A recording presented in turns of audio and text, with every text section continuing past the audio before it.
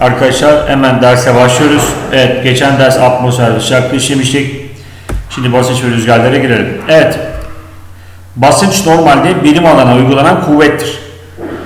Ancak biz coğrafyada basıncı atmosferdeki gazların yere uyguladığı kuvvet olarak göreceğiz. Ve basıncı ölçen kişimizin adına da biz Torricelli diyoruz. İtalyan Torricelli. Bir deney yapıyor arkadaşlar. Yaptığı deney 45 derece kuzey enleminde İtalya'da 0 metrede 15 santigrat derecede 760 milimetrelik bir civa dolu tüp var ve kap dolu civa dolu kaba boşaltıyor yani. Ondan sonra arada bir boşluk kalıyor ve o aradaki boşluktaki kalan ağırlık ile bir normal basınç değeri elde ediyor. Yani kısacası bu. Çok derinlemesine bilmek önemli değil bizde. Yani 1013 milibar bizim normal basınç değerimiz oluyor. 1013 milibarın üst değerleri 1014, 1015 değerleri yüksek basınç. 1013 milibarın alt değerleri 1012, 1011 değerleri ise alçak basınç oluyor. Evet hava basıncını nasıl tanımladık? Gazların ağırlığı dedik. Milibar ölçeğinde evet basıncımız milibar ölçeğinde tanımlanıyor. Ve hektopaksal yani 1 milibar 1 hektopaksal gibi tanımlanıyor. Arkadaşlar bilginiz olsun. Basıncı ölçen aletimiz ise gençler barometre. Yani barometre bizim basıncı ölçen aletimiz. İleride bahsedeceğiz mesela. Yağışı ölçen alet pluviometre. İşte sıcaklığı ölçen alet termometre gibi. İşte bulutluluğu ölçen alet nefometre gibi. Yani bu şekilde bazı kavramlarımız var ama basıncı ölçen alet barometre önemli. Görselde yağmurlu, rüzgarlı ve güneş olarak da gösterimler var. Normal basınç 760 mm yüksekliği civarının 1 cm'lik yere uyguladığı ağırlık 1033 gramdır dedik ve bu değer 1013 milibar olarak adlandırılıyor. Yine civa dolu kabımız var, cam tübümüz var, içi civa dolu. Burada zaten göstermiş olduk arkadaşlar. Evet, bin, normal basınç değerimiz 1013'tü. 1013'ten yüksek değerler yani 1020, 1030, 1040 diye gidenler yüksek basınç. 1010, 1990 diye gidenler ise hatırlarsınız ki alçak basınç olmuştu. Evet. Basınçla alakalı bazı bilgiler verelim. Çevresine göre yüksek değerlere sahip olan alanlara yüksek basınç, çevresine göre alçak değerlere sahip olan alanlara ise alçak basınç. Yani arkadaşlar şöyle bir mantık var. Böyle e, yuvarlak çizimler olacak iki tane. Oklar sağa sola böyle gidecek. Birazdan göstereceğim. Eğer merkeze doğru milibarlar artıyorsa yani büyük halkadan küçük halkaya doğru merkeze doğru milibarlar artıyorsa biz ona yüksek basınç diyeceğiz. Eğer merkeze doğru milibarlar azalıyorsa alçak basınç diyeceğiz. Ya bunu zaten ileride e, göstereceğim. Şimdi gençler e, şöyle yapalım. Bakalım mesela yüksek basınç. Heh, şuradaki mantık işte. Merkezin iç kısmına doğru yüksek basınç yazıyor. Bu şu demek. Yüksek basınç değerler içe doğru artıyor demek. Ve değerler artıyorsa yüksek basınç oluyor. Eğer değerler içe doğru azalıyorsa alçak basınç oluyor. Şimdi burada bir görselde mantık var. Onu paylaşalım. Arkadaşlar soldaki yüksek basınç, sağdaki yüksek basınç ama sağ taraftaki yüksek basınçta bulut var, yağmur yağıyor gibi bir görsel var. Sol tarafta yok. Buradaki mantık şudur. Alçak basınç eşittir yükselici havadır. Tekrarlıyorum. Alçak basınç eşittir yükselici hava eşittir şöyle düşünebilirsiniz. Bulut yerde olmaz. Zaten yere inmiş bulut sistir. Hani adı bulut olmuyor. Bulut her zaman yukarıdadır. Yükselici hava hareketi olduğu için hava bir hareketi olduğu için belli bir yerden sonra soğuyup yoğunlaşıyor ve yağmur meydana geliyor. Ancak alçalıcı hava hareketinde sıcaklık arttığı için ve basınç da ağırlığını hissettirdiği için ne oluyor arkadaşlar? Orada yağış meydana gelmiyor, kuraklık meydana geliyor. Yani yükselici hava mantığı şu demektir. Hava yükseliyorsa bulut oluşturur, yağmur getirir. Hava yeryüzüne doğru alçalıyorsa yağmur, yağış getirmez arkadaşlar bilginiz olsun. O zaman şu bilgiyi bilmemiz lazım. Alçak basınç eşittir yükselici hava hareketi eşittir yağış getirir eşittir ekvator diye bir kısa bir teknik koyabiliriz. Yüksek basınç eşittir alçalıcı hava hareketi eşittir yağış getirmez çöller diyebiliriz. 30 derece enlemindeki dinamik yüksek basınç çölleri diyebiliriz. Evet bu notları alalım. Şimdi yüksek basınç, alçak basınç farklarına bakalım. Bakın gökyüzü açık ve bulutsuzdur diyor yüksek basınçta. Alçak basınçta ise bulutlu. Yani zaten dedik yüksek basınç alçalıcı hava hareketi olduğu için gökyüzü açık ve bulutsuz. E, alçak basınç yükselici hava hareketi olduğu için gökyüzü kapalı ve bulutlu. Yıllık yağış miktarı azdır diyor yüksek basınçta. Zaten söylemiştik. Yıllık yağış miktarı az. Alçak basınçta ise yıllık yağış miktarı fazla. Yüksek basınçta sıcaklık farkı fazla, nem az olduğu için bu arada yıllık yağış miktarı az ve sıcaklık farkı fazla, nem az olduğu için alçak basınçta yıllık yağış miktarı fazla, sıcaklık farkı az, nem fazla olduğu için yüksek basınçta nemin az olması, yağışın az olması bitki örtüsünü seyrekleştirir, cılız hale getirir. Ancak alçak basınçta yıllık yağış miktarı fazla, sıcaklık farkı az, bitki örtüsü gürse burada bize düşüneceğiz arkadaşlar tabii ki yağmurlu, yağışlı olacak gençler. Evet bunu da size paylaşmış olalım. Son bölüm yerin ısı kaybı fazladır diyor yüksek basınçta. Çöller olduğu için fazla ama ekvatorda ısı kaybı az. Yani yorumu şöyle yapıyoruz arkadaşlar. Sol taraftaki yüksek basınç özelliklerinin hepsi çöl için geçerlidir. Sağ taraftaki alçak basınç için maddelerin hepsi ekvator için geçerlidir. Bunları lütfen unutmuyoruz arkadaşlar. Evet. Şimdi e, bazı bilgiler verelim. Beraber konuşalım. Hatta şöyle. Mesela nasıl bir yorum yapıyoruz? Evet. Bu görsel önemli. Şimdi şurada yuvarlak şeyi gördük. Tekrarlıyorum. 1012, 1014, 1012, 1008, 1004, 1000 diye gidiyor. Bakın merkeze doğru basınç azaldığı için alçak basınç ve gördüğünüz gibi alçak basınç nasıl hava hareketiydi? Yükselici hava hareketidir. O zaman yükselen hava yavaş yağmur getirir. Merkeze doğru değerler, milibar değerlerin azaldığına dikkat edeceksiniz. Tekrarlıyorum. Alçalıcı hava hareketini görüyoruz.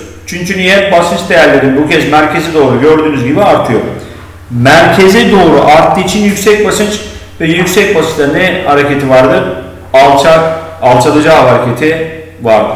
Evet arkadaşlar burada öğrenci en çok şunu karıştırıyor. E, yüksek basınç yükselici hava hareketi değil mi? Değil. İşte alçak basınç alçalıcı hava hareketi değil mi? Çok benzer ya kavramlar. Oradan gidiyor. Şimdi bunu bir örnekle bahsedelim ve orada da zaten görselde var. Şimdi arkadaşlar petekler neden yerde? Birinci sorumuz. İkinci sorumuz klimalar niye yukarıda? Şimdi arkadaşlar peteklerin yerde olmasının temel nedeni şu. Isınan hava yükselir.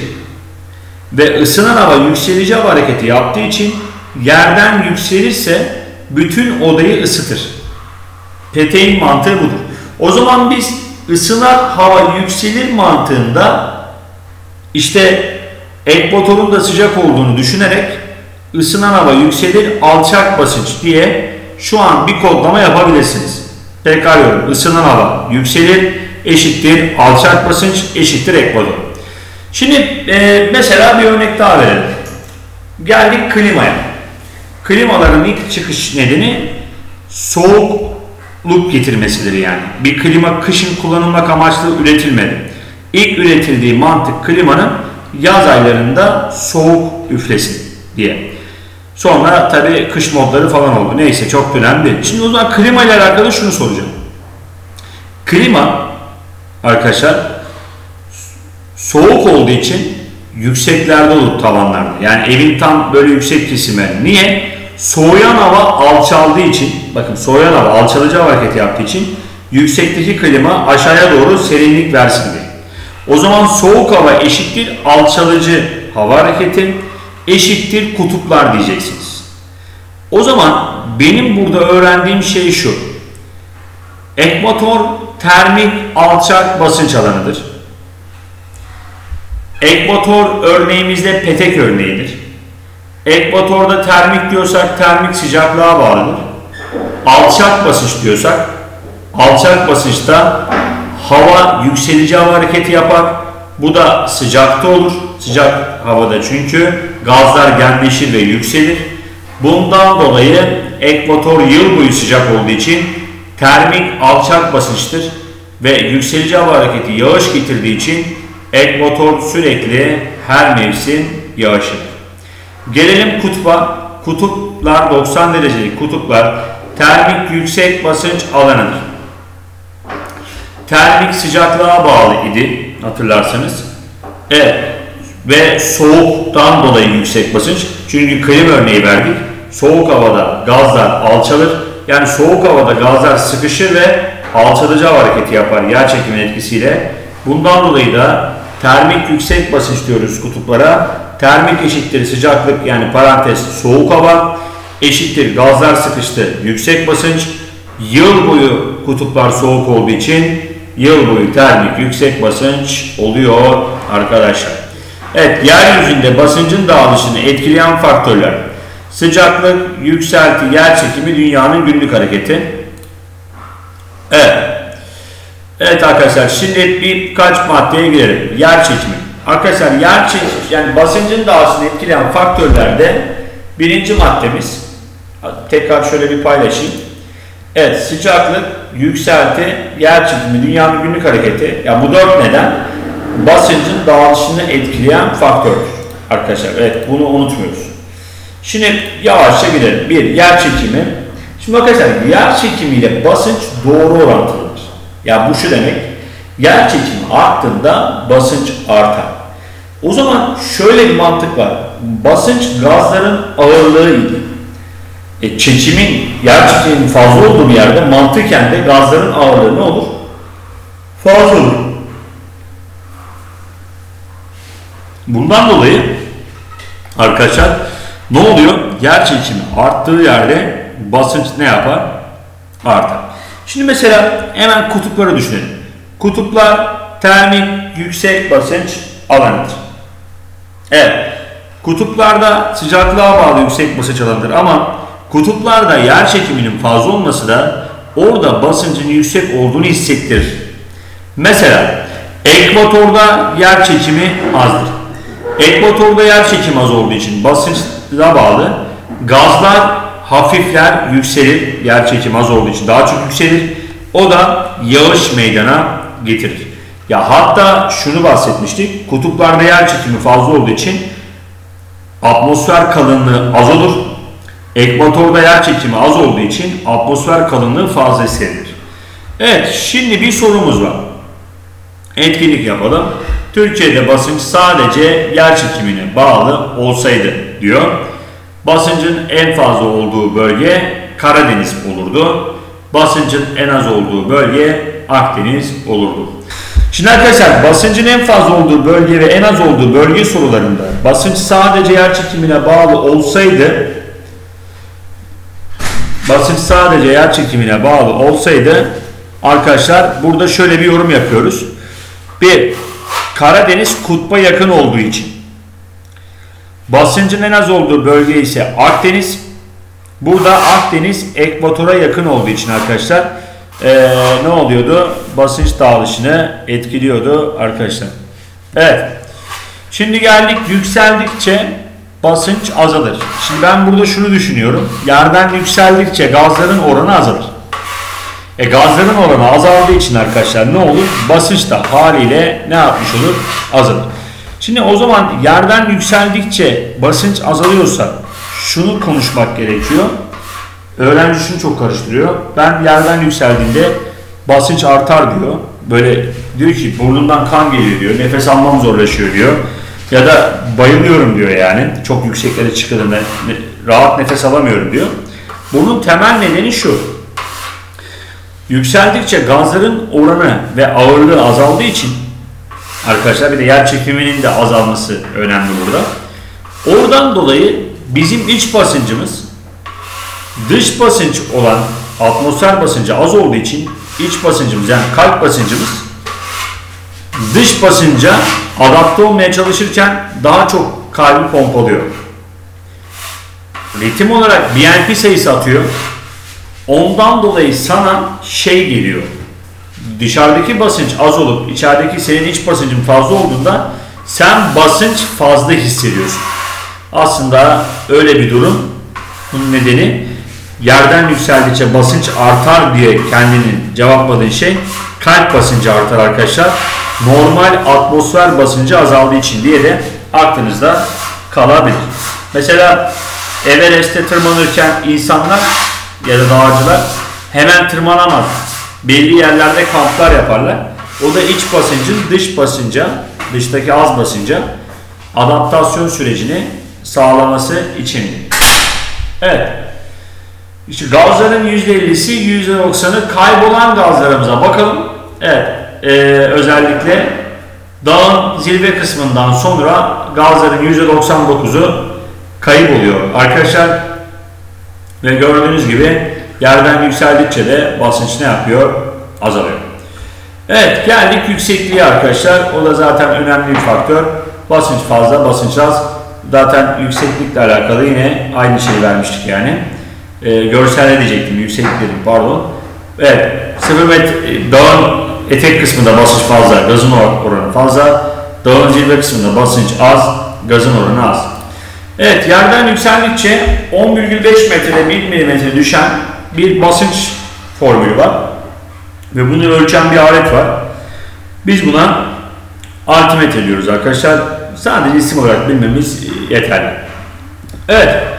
Şimdi basınç sadece yükseltiye bağlı olsaydı basıncın en fazla olduğu bölge neresi olur sorusu.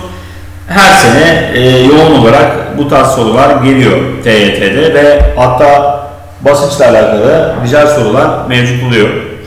Basıncın en fazla olduğu bölge arkadaşlar Marmara bölgesidir. Ama bunu nasıl cevaplıyoruz? Şöyle cevaplıyoruz. Marmara bölgesi Türkiye'de yükseltinin en az olduğu bölge batıda yer aldığı için. Basıncın en az olduğu bölge ise Doğu Anadolu bölgesidir. Çünkü Türkiye'de yükseltinin en fazla olduğu bölge Doğu Anadolu bölgesidir.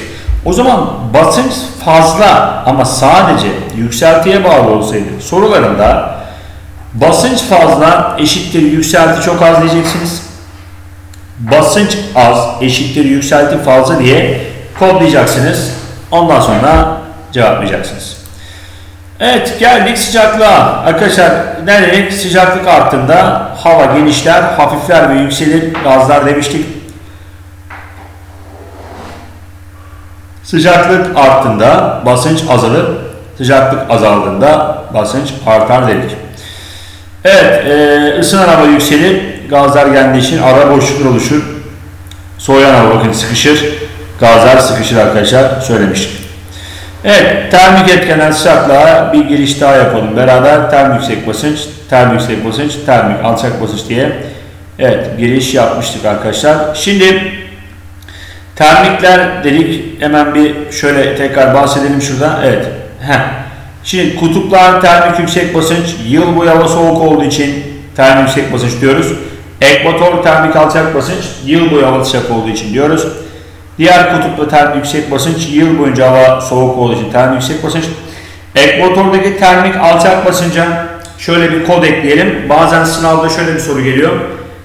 90'la yani kutuplarla ekvatorlarındaki basınç kuşaklarının temel nedeni diye soru geliyor. Bunun cevabı dünyanın küresel şekli olabilir. Dünyanın şekli olarak da cevap alabilirsiniz.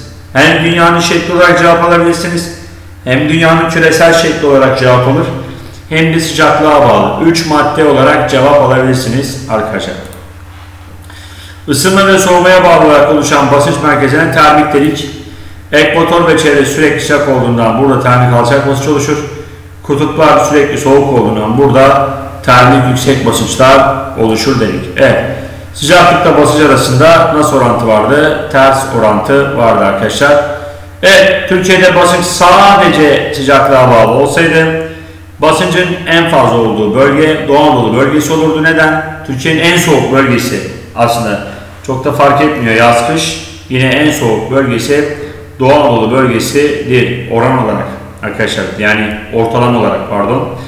Bas, o zaman basınç en fazla sadece sıcaklığa bağlı olsaydı eşittir soğuk diyoruz. Türkiye'nin soğuk bölgesi Doğu Anadolu bölgesi. İkinci soru. Basıncın en az olduğu bölge neresi olurdu? Basınç en az eşittir hava çok sıcak olacak. Sadece sıcaklığa bağlı olduğu için. Yazın Türkiye'nin sıcak bölgesi Güneydoğu Anadolu bölgesi. Bundan dolayı cevabımız yazın Güneydoğu Anadolu. Kışın ise Akdeniz bölgesi arkadaşlar. Evet bunu da e, söylemiş olalım. Evet. Şimdi geldik günlük hareket e, basıncı nasıl etkiliyor arkadaşlar özellikle. E, yani günlük hareket şöyle bir mevzu aslında. Havanın hareketini Coriolis etkisiyle yani merkez kaç kuvveti etkisiyle dünyanın batıdan doğuya doğru dönüşü tabi bu durumda önemli ile havayı hareketinde kuzey yarımkürede hava hareketleri sağa sapar güney yarımkürede genellikle sola sapar. Şimdi sağ sapmaların hani virajda sağa saptığında aşağıya doğru inersin sonuçta. O belli bir yerde alçalması var ya da yokuş yukarı çıktığında sağa saptığında daha çok yükselirsin. Virajdan aşağı indiğinde, yol aşağı indiğinde ya da yukarı çıktığında gibi düşünebilirsin. Bazı yerlerde bu sapmalar havayı alçaltacak. Bazı yerlerde de bu hava hareketi hatta gazları yükseltecek. Yani o zaman belli yerlerde alçalıcı hava hareketi görecek bu rüzgarların sapmasına, hava hareketinin sapmasına bağlı olarak belli yerlerde yükselmesi. Ya şöyle daha hani yine örnek verdik ama tekrar daha iyi kabul otursunuz. Arabadasınız. Şimdi yokuş yukarı doğru çıktığınızda sağa viraj alıyorsunuz.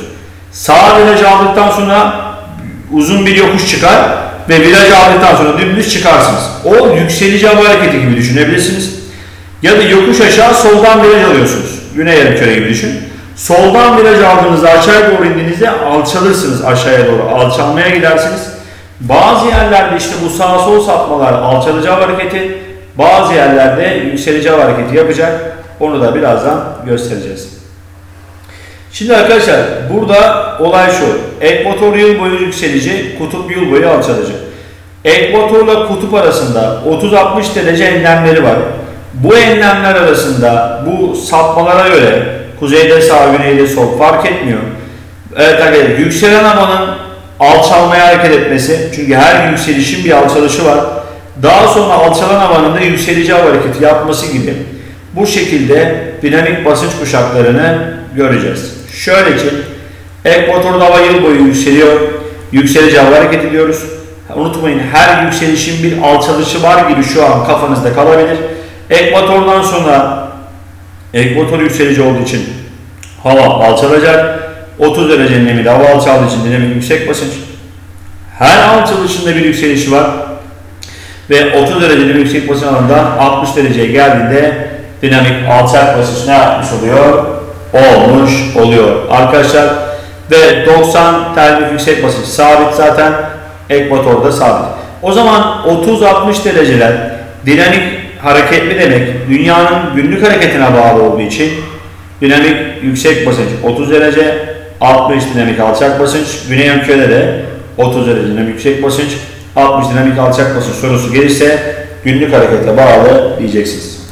Evet devlet kitabımızın görseline bir göz gezdirmek istedim özellikle. Kitabımız şöyle bilgiler vermiş ve buna da paylaşalım. Bakın demiş ki kutup yıl boyu soğuk ve sürekli yüksek demiş. Görüyorsunuz ekvator yıl boyu sıcak sürekli alçak basınç demiş. Dinamik ekvatordan yükselen hava kutuplara doğru gitmeye çalışır. Demiştim bakın kutuplara doğru gider. Ancak 30 derece neminde sıkışır ve dinamik yüksek basınç şartlarını oluşturur. Ancak şöyle bir nokta var. Ekvatordan yine güney yarımkürede kutba gidenlerde şöyle bir mantık var. Şu güney yarımküre örneği vermiş. 60 şey 30 dinamik yüksek basınç, 60 dinamik alçak basınç alanları arasında demiş ki dinamik alçak basınca 30 ve 90 enlemine doğan rüzgarların çarpışarak yükseldiği 60 derece enlemlerinde dinamik alçak basınç oluşur. Evet 30 ve 90'da alçalan hareketi çarpıyor diyor. E, çarptıkları için alçaldığı için yükselecek mecbur 60'da. Bundan dolayı demiş oluyor.